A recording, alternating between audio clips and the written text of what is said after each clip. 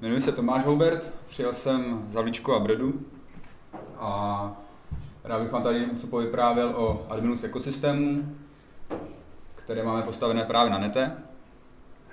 Tady máme jenom nějaké informační údaje o sobě. Eh, tato přednáška nebude úplně technická, bude to spíš takový trošku povídání, a nebude to určitě show, jako, jako tady měl Chemix. Eh, bude to spíš takový vhled vlastně na ty, do těch našich aplikací, které máme na tom nete postavené. A bude to trošku spíš z pohledu jakoby administrátora, než úplně programátora. Tak snad to pro vás nebude problém a překousnete to. A jelikož vlastně tím společným jmenovatelem vlastně všech těch přednášek by mělo být aspoň nějaká, že by to něco společného z nete, tak vlastně e, prakticky vlastně úplně všechny aplikace, které uvidíte, tak jsou na tom nete, nete postavený. Ještě bych teda si představil ještě, co děláme jako i firma. Eh, jsem spoluzakladatelem 2HT Xero, kde jsem vlastně zaměstnaný a zabývám se především zprávou IT ve firmách a děláme i různé montáže kamerových systémů a tak podobně. Říkají vám něco tyto firmy? Nebo vy, slyšeli jste, viděli jste někdy někdo? Jistě si je určitě možná zaregistrovali minimálně jako sponzory vlastně některých eh, těch nete akcí. A eh, tak například, nebo začnu asi tou ISP Alianci z kraje, kde vlastně o združení poskytovatelů internetového připojení. A vlastně ta firma vpravo Tlapnet vlastně je jeden z, těch poskytovatelů, zároveň vlastně akcionářů té ISP Aliance. A díky vlastně těmhle firmám mohlo vzniknout eh, velké množství balíčků, které vlastně najdete hlavně v Contribute, to může určitě Felix potvrdit. A, takže jim vlastně tvůrcům a i vlastně těm firmám, které do toho dávají nějaké peníze, tak určitě patří, patří nějaká, nějaká pozornost. Ještě něco asi řeknu teda k sobě. E, vlastně, než jsem e, vlastně vůbec začal koketovat nějakým způsobem s webama, tak jsem 8 let dělal e, technika vlastně pro dvě firmy a tou druhou firmou byl právě ten Tlapnet, kde vlastně postupem času mi vlastně umožnili se zapojit potom do týmu jako programátor PHP a tím, že vlastně byl součástí, tý, nebo s tím podílníkem v té ISP alianci, tak vlastně jsem dostal možnost uh, se tam asi dostat na pozici manažera implementačních projektů. A jenom v rychlosti možná k té alianci, tak vlastně jde o seskupení eh, firm, kteří, který vlastně nabízejí internetové připojení vlastně v rámci celé republiky a oni si vlastně využívají vlastně potom tu celkovou sílu k tomu, aby měli vlastně silnější vyjadřovací pozici jak u těch různých dodavatelů, tak vlastně u ČTU a podobných orgánů. A sdílejí se navzájem nějaký své know-how, což znamená vlastně, jedna firma řeší nějakou IPTV platformu, některá řeš, má nějaký, uh, nějaký uh, serverovou farmu nebo něco a pro ty menší firmy je to třeba problém, aby si to řešili nějakým vlastním způsobem. Takže vlastně začlenění v té alianci mají dostupnost uh, tady těch věcí. A jednou vlastně z toho know-how, co si sdílí mezi sebou, je právě software. A to je to vlastně, o čem vám tady řeknu pár věcí. Pro ty potřeby těch ISP vlastně byl postupně vytvořen celý komplexní informační systém a ty aplikace vlastně pak na sebe nějakým způsobem vzájemně navazují. Vlastně mojí pracovní náplň je to tyhle ty aplikace potom u těch zákazníků vlastně nasazovat, spravovat, poskytovat těm zákazníkům nějaký support během potom toho jejich používání a vlastně provozu těch, těch systémů. A těch aplikací už je za tu dobu, co se to vyvíjí, poměrně hodně jelikož vlastně uh, ty aplikace bylo potřeba nějakým způsobem uh, podchytit, aby jsme vlastně měli jako ten základní kámen, na kterém to vlastně se to bude stavět, tak a je spousta věcí, které se vlastně na každé aplikaci nechcete že psát pořád dokola. Takže se vlastně vyvinula platforma, který říkáme Setbox, a která vlastně u většiny těch aplikací vlastně slouží prostě jako by ten stavební kámen a nad ní potom jsou postavený, aby jsme vlastně některé ty věci měli vlastně u toho stejný. Eh, tady jsem zmínil jenom vlastně pár věcí, ale těch věcí tam je daleko více. Databázová vrstva tam vlastně v tuhle chvilku ještě historicky kdyby, ale máme na tím nějakou jako, takovou lehkou vlastně vrstvu modelovou a zatím je to dostačující, takže asi změna ani do budoucna zatím asi se nechystá nějakým způsobem. Jsou tam některé symfony komponenty, což vlastně konzole, email dispatcher, to jsou asi takový eh, standardní, který asi všichni znáte, kdo to nějakým způsobem používáte. Spousta věcí je potom psaná extra, takže vlastně nějaký databázový migrace, ACL, velice podstatná část potom jsou vlastně eh, moduly a ta modularita, protože vlastně u některých těch systémů ty zákazníci eh, mají pak specifické požadavky a my potřebujeme nějakým způsobem promítnout do toho systému a upravit to trošku tím jejich potřebám. A nebo vlastně máme nějaký modul, k tomu se přiřadí nějakýho rozšiřující a je potřeba, aby vlastně z toho jednoho modulu dokázal vlastně ovlivnit eh, chod toho druhého. A zároveň vlastně eh, ty moduly jsou navržený vlastně tak, aby to nejen rozšiřovali, ale aby jsme to pak vlastně celek měli nějakým způsobem udržitelný. K tomu rozšiřování eh, těch modulů navzájem se používají různé extendry a pak nějaký i vlastně pro tu konfiguraci, tak slučování a přetěžování konfigurací v neonech. Takže jak jsem řekl, vlastně většina těch uh, aplikací je nad tím sandbox, sandboxem, který obsahuje teda celou tu škálu těch základních a nezbytných, což je to přihlašování, ty ACL a nějaký to rozhraní administrace, meníčka, konfigurace a takové ty klasické věci. Uh, co je vlastně super, že potom vlastně ty aplikace jako celé, když přecházíte mezi jednotlivýma, nasazujete, updateujete nebo nějakým způsobem jinak spravujete, tak vlastně tím, že to je vlastně nad, nad tím jedným základem, vlastně tak uh, spousta věcí tam je podobná, když se třeba pouští migrace, nebo tak je to vlastně že na těch všech aplikacích stejných. A řada potom těch knihoven uh, byla i uvolněna jako open source, například uh, ten Docs, ten report nebo chart, což jsou, což můžete vlastně najít na tady těch odkazech kde vlastně u toho chartu vlastně jde o nějaký, uh, vlastně nějakou tvorbu grafů, Docs je vlastně verzovaná dokumentace, reporting vlastně tam díky SQL, vlastně přes SQL dotazy můžete takovým sofistikovaným způsobem získávat data a potom hezky vykreslovat si grafy. Takže v tuhle chvilku uh, jsem řekl něco o těch základních modulech, které, které vlastně ta aplikace má. Potom vlastně každá ta, každá ta vlastně s aplikací má jeden vlastně nějaký hlavní modul, který vlastně za eh, jakoby celou tu funkčnost dává dohromady, což vlastně uvidíte v zápětí. Tady ještě ukázka jenom toho sandboxu, jak to v tuhle chvilku vypadá. Eh, je to vlastně to nějaký základní rozhraní administrační, což vás asi nepřekvapí. Nějaký meníčko, datagrid, z těch datagridů vlastně je vel, vlastně je to vlastně takový to gro těch aplikací, protože těch tam vlastně máme možná vyšší desítky. To stejně jako těch formulářů, který, který vlastně eh, my tam většinou zobrazujeme takhle nějakým způsobem takovým vyskakovacím, vyskakovacím modálem. A je to, jak jsem řekl, vlastně nejčastější ty části tady těch té aplikace, ty datagridy a formuláře.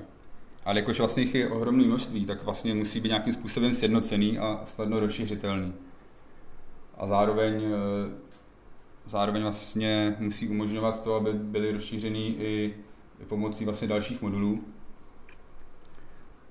A aby vlastně eh, jsme nemuseli, nemuseli vlastně každý, když jsou ty vyšší desítky, jak jsem říkal, tak vlastně, aby se nemuseli všechny zvlášť stylovat a nějakým způsobem jinak zpravovat, tak eh, vlastně se dodrží nějaký ten jednotlivý vzhled, který vlastně si načítají předvoleně ale samozřejmě všechno jde, všechno jde upravit. Eh, interně se tam vlastně, byste se pak viděli v nějakém náhledu eh, nějaký slova, jako vlastně ten tak nebo tak, tak vlastně jde o to, že jsou, máme tam vlastně nějaký názvosloví svoje, kde vlastně ty data gridy jsou xtable a e, formuláře L-formy. Vlastně pro ukázku je tady e, jenom pak nějaký jednoduchý z administrace, e, který vlastně se stará o zprávu štítků. Tady vlastně je ten, vlastně úplně ten samý datagrid, kde vlastně akorát tady máme roz, vlastně nějaký vyhledávání zobrazený. Tady vlastně, co vidíte, ten rámeček, tak vlastně ten viditelný potom jenom v debugovacím módu, kdy vlastně je to vlastně ten, ten mod se zobrazuje pomocí vlastně stejných parametrů, pokud máte potom vždycky dole tu ladinku vidět, že jo, tak v tu chvilku vám vyjede u, u těch datagridů eh, takovýhle infookénko. A tam vlastně vidíte, že název vlastně toho, toho datagridu, když ho potřebujete rychle vyhledat, je to velice pak eh, usnadňující. Vidíte dotaz do databáze, nebo rychlost toho dotazu, kolik ten, eh, pro ty data, které vlastně se konkrétně zobrazují. Pokud vlastně je nějaký problém, tak i to ladění je potom o, to, o něco rychlejší.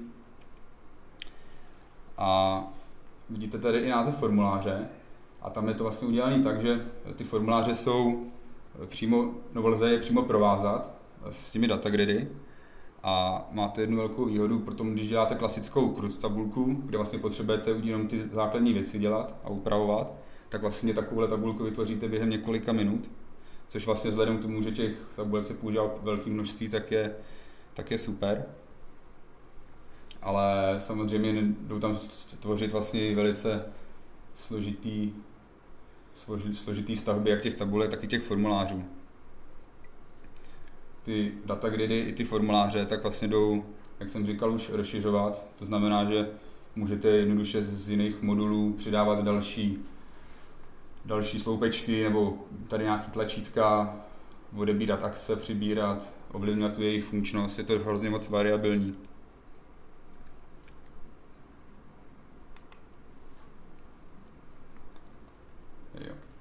Tady potom ještě je tlačítko info to potom zobrazuje ještě detailní informace o té konkrétní, o té konkrétní tabulce, té gridový. Tady je takový malý výřez těch informací, tam je daleko víc, ale vlastně zjistíte, eh, jak vypadá celý ten SQL dotaz, jaký tam jsou filtry, jaký jsou použitý anotace, protože díky těm, přes ty anotace se mapují ty formuláře k těm datagridům, jaký akce se tam používají, Eh, parametry, kterými vlastně se ty, eh, ty gridy dají ovlivňovat, i jakou šablonu vlastně jsme, se, jaká šablona se pro ten grid použila ke kreslení. Tady je taková ukázka, je to úplně asi, co jste zvyklí z jiných, z jiných gridů, co jsou, data gridů, co jsou běžně dostupný, přidávání, odebírání sloupců, různý skládání těch akcí a tlačítek. Formuláře vlastně vycházejí z klasických nete formulářů, kromě vlastně těch standardních prvků, eh, tam vlastně to, co vlastně dopíšeme, tak tam vlastně máme třeba nějaký color picker nebo cokoliv jiného.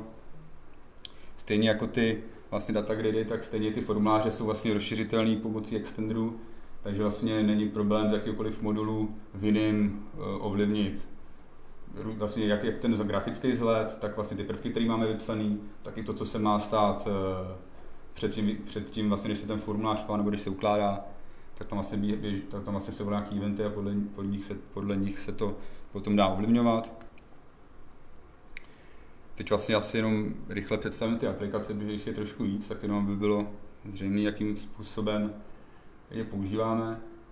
Jde vlastně, jde vlastně o to jen ukázat, eh, jaký všechny typy aplikací na tom máme, že vlastně vždycky nejde jenom o klasické webové stránky, ale někdy jde sofistikované systémy, které vlastně na tom nete jsou. Takže první je CRM, což je vlastně taková ta lajková loď toho ekosystému, který tady ten vlastně CRM je velice rozsáhlý. Velikou přednost je úzký napojení na Flexibí, protože Flexibí má jako jedno z mála toho účetního softwaru eh, celkem propracovaný API, takže vlastně ta vazba na to CRM tam je docela úzká. Pak vlastně takové ty grafické věci, co CRM dělají, zprávu zákazníků smluv, služeb, tarifů, vlastně generují a rozesílají z toho upomínky a faktury. Přesto přes vlastně i každá ta aplikace disponuje nějakým vlastním API, takže hlavně třeba u toho CRM je to, je to tak, že vlastně eh, většina těch aplikací celého toho systému je vlastně na to CRM napojená, protože poskytuje v rámci toho ekosystému vlastně ten hlavní zdroj dat, se kterými vlastně pak ty další aplikace pracují. I na druhou stranu potom, když vlastně napojeme další aplikaci, tak ta třeba v sobě má modul, nebo k ní ještě vyvinut zároveň modul, který rozšiřuje tu funkcionalitu toho CRM, aby vlastně potom ta komunikace s tou aplikací fungovala tak, jak potřebujeme. Další aplikací je NMS. Vlastně ty poskytovatele internetu eh, vlastně mají vlastně různý, různý velký ty sítě, které vlastně nějakým způsobem potřebují řídit a monitorovat. A důležité, důležité tam pro ně je mít to všechno řádně popsaný, zmapovaný a evidovat kompletně tu celou infrastrukturu, na který vlastně fungují. Eh, zároveň vlastně tohle, tenhle systém umožňuje nějakou evidenci skladů, což vlastně není úplně jakoby skladová záležitost eh, klasická, bych řekl, ale funguje to tak, že vlastně když nějaký skladník naskladní nějaký, nějakou anténu třeba, tak e, potom to zařízení, když vlastně putuje e, z auta na nějaký vysílače a tak, tak vlastně přes ten vlastně systém je to všechno zaznamenané, takže vlastně pak je vidět celá ta historie toho zařízení, vlastně kudy to prošlo, kde se to teďka vlastně nachází to zařízení, a pokud vlastně pak přijde na reklamaci, tak je vlastně možný dohledat celou tu jeho historii, což vlastně ty velké firmy vyžadují, protože ty zařízení nejsou úplně nejlevnější a e, pokud vlastně mají desítky techniků, tak by to mohl být velký bordel. E, vlastně díky potom napojení na monitorovací systém Zabix, tak vlastně celá ta aplikace ještě ožije vlastně reálnými daty, kdy vlastně z toho monitoringu si ta aplikace vlastně přebírá ta živá data který pak třeba i někdy probublává až do toho CRM těm konkrétním zákazníkům. Takže vlastně potom ty operátoři, když jim vlastně někdo volá, že třeba nejde internet, tak mrknu na zákazníka a hned tam už vlastně z toho z monitoringu proběkává vlastně stav té jejich přípojky. Což je velice parádní. Takhle vypadá například co NMS rozhraní, kdy vlastně eh, je nakreslená nějaká ta síť, která se vlastně kreslí nad OpenStreetMapami do nějaké vrstvy. Části jsou potom vlastně, můžou být vlastně potom rozdělený na jednotlivé segmenty, je to vlastně prakticky na každém, jak se to rozseká, zase ta variabilita tam je celkem vysoká. Eh, super na tom je to, že vlastně vy, než vy tam máte třeba v tom městě rozmístěný nějaký vysílače, ale můžete vlastně, vlastně nazumovat a vlastně pak se vám ty kolečka rozjíždějí a vy potom vidíte eh, jednotlivý ty, ty vysílací body, které baráky jsou z toho připojeny, z toho konkrétního třeba z konkrétní antény a vlastně díky podpoře nějakých výsečí a takových prvků, tak vlastně vy vidíte přesně z kterých vysílač, nebo z kterých těch antén máte jakou, jakou částí toho města pokrytýho a dá se vlastně díky tomu skvěle potom vlastně plánovat i do budoucna nějaký rozvoj, rozvoj toho pokrytí. Potom vlastně, že když si to pak třeba nazumeme a vidíme třeba už jenom nějakou tu konektivitu, tak vlastně eh, je tam podpora jakoby těch spojů, kde vlastně vidíte přesně, který, co vám kam míří, eh, jak jsou, jak jsou vlastně ty prvky mezi sebou propojený a jaký technologie tam jsou použitý a ten systém mám do mnoho a mnoho dalších věcí. Pak už, pak tady to jsou takové ty dvě, dvě hlavní, pak je spíš tak jsou taky menší aplikace, třeba marketing, který vlastně funguje podobně, kde vlastně eh, nějakým způsobem jsou definovaný ty zákazníci, vlastně, který jsou v té konkrétní oblasti, kterou si v té aplikaci vylistují, vylistují ty marketáci. A zase nějakým způsobem tam pracuje s, tou, eh, s těmi mapovými podkladami. Eh, díky tomu vlastně, že vidí vlastně v těch oblastech vlastně ty lidi, co, nebo ty zákazníky, kteří mají pokrytý, tak vlastně snadno můžou i definovat ty, na který se zaměřit.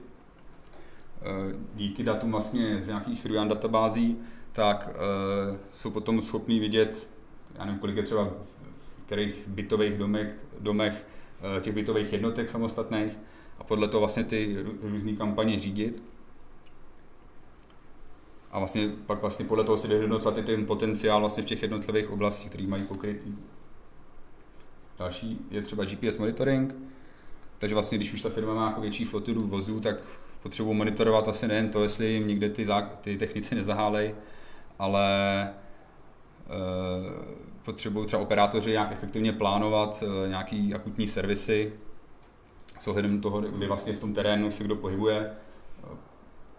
Samozřejmě potom to poskytuje nějakou knihu jíst a věci, co vlastně potřebují potom k nějaký té analýze.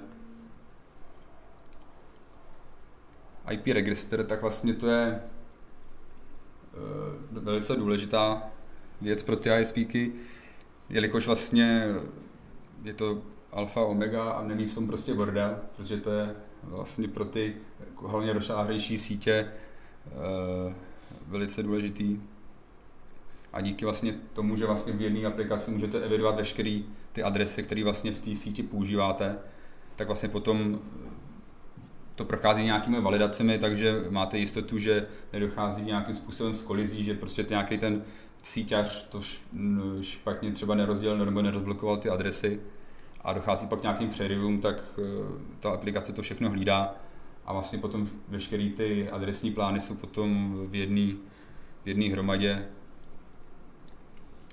Eh, samozřejmě s tím už pak vlastně podporají IP verzi 6, která možná někdy bude aktuálnější třeba až na těch nižších vrstvách, až třeba do domácností.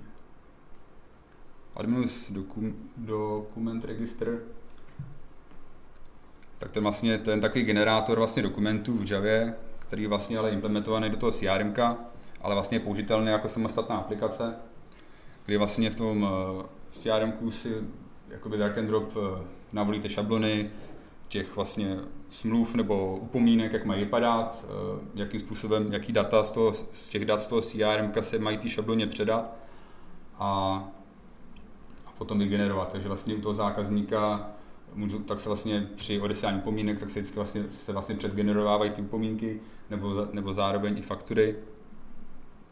Vlastně faktury a faktury se generují v, přes FlexiBíčko, ale smlouvy a tak, aby je to potom jednolitý vzhled a velice to usnadňuje práci. Pak je tam třeba sebezbrána, takže vlastně ta používá jak, uh, rozes, no, je udělána tak vlastně, aby ty rozesílací kanály, který vlastně používá, uh, aby šli vlastně rozšiřovat, ale v tuhle chvilku tam máme zatím GAMu a Profi SMS. Uh, GAMu je open source projekt napsaný v C,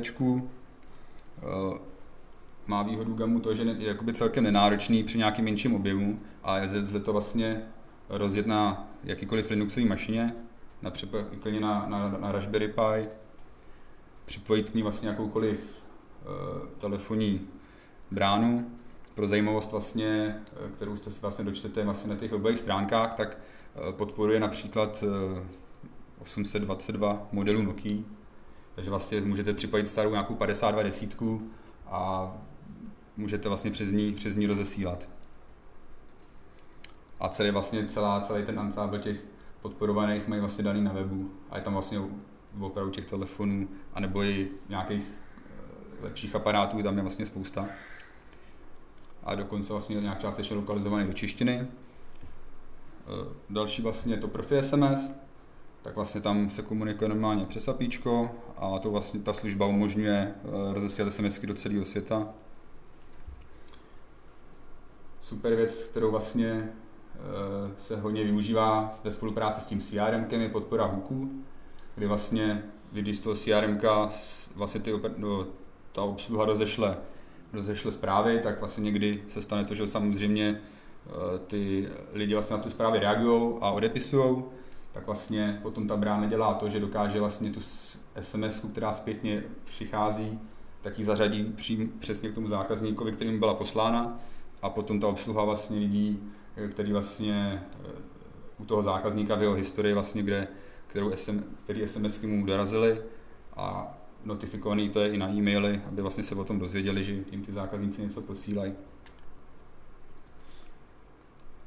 Zajímavou aplikací je Kody, což je vlastně eh, ověřování dostupnosti. Vlastně funguje to tak, že ty zákazníci, kteří vlastně používají ten vlastně ekosystém těch aplikací, tak vlastně eh, můžou do, použít tuhle aplikaci, napojit se do ní a tam se potom zaznamenává to jejich celkový pokrytí. Jsou to vlastně zase data z těch aplikací, tady v té konkrétně je to návaznost na aplikaci marketing, kde vlastně potom funguje to tak, že když zákazník přijde na ten web, zadá si svou adresu, tak potom se mu vylistují všichni poskytovatelé v té jeho lokalitě kde vlastně vidí nějaký vlastně ceny těch různých tarifů, může se to jednoduše porovnávat. Tak Adminus DocSend, tak to je vlastně jakoby aplikace pro zprávu dokumentací, která je verzovaná, což je výhoda, že může tu uh, dokumentaci mít třeba na GitLabu někde umístěnou, podporuje Markdown, dá se s ní jednoduše vyhledávat. A ta knihovna, vlastně, na kterou máme udělaný ten modul nebo vlastně tu aplikaci, tak je vlastně dostupná i na GitHubu.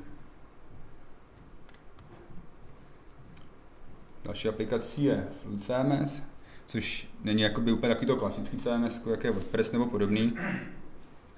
Tohle je trošku takový sofistikovanější a popravdě upravený na ty asi možná naše potřeby, ale nevím přesně, jak to tam je dělaný.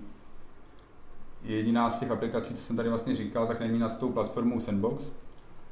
Byla vyvinutá vlastně e, trošku, trošku bokem.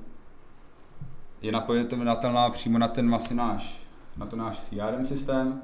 Díky tomu vlastně se používá u těch firm jako zákaznický portál, kdy vlastně ty zákazníci sám přihlašují, vidějí potom přehled všech svých faktur, e,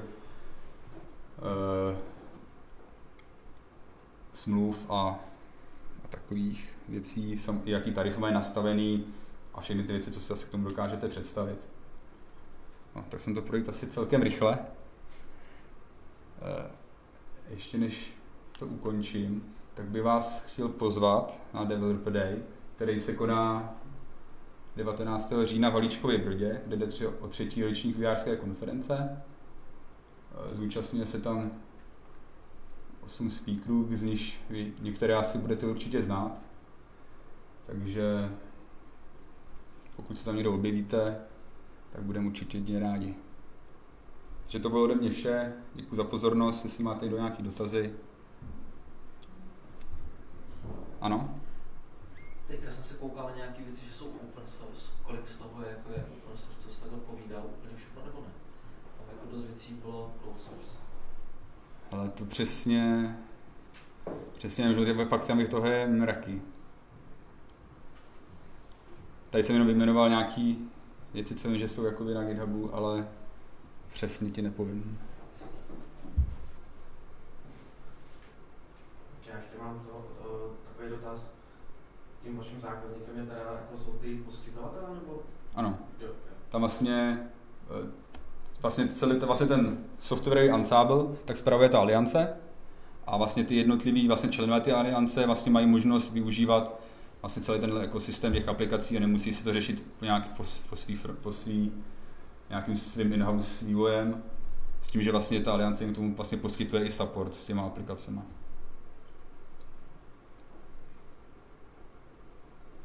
Takže to bylo všechno, tak díky za pozornost.